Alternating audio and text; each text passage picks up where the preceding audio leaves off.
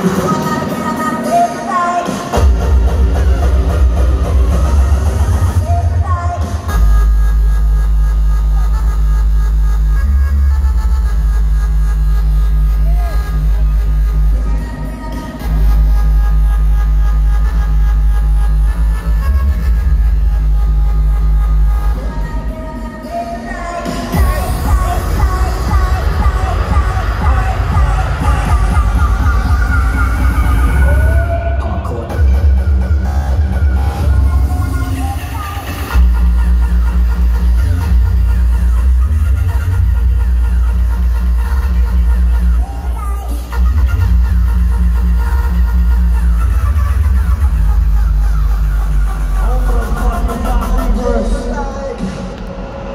This evening, producer is taking over the